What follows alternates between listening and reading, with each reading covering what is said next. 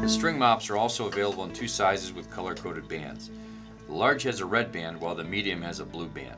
These mops look like the traditional cotton mop but are made of microfiber. Both are highly absorbent and can be used with a wringer attached to a bucket.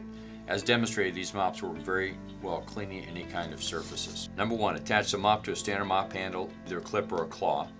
Dip the mop into the bucket, making sure to soak the entire mop. Number three, place in a wringer and squeeze out the excess liquid.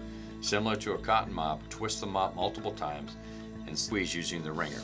Number four, because the mop is microfiber, it feels like it grips the surface when mopping. This is normal and provides an enhanced cleaning experience.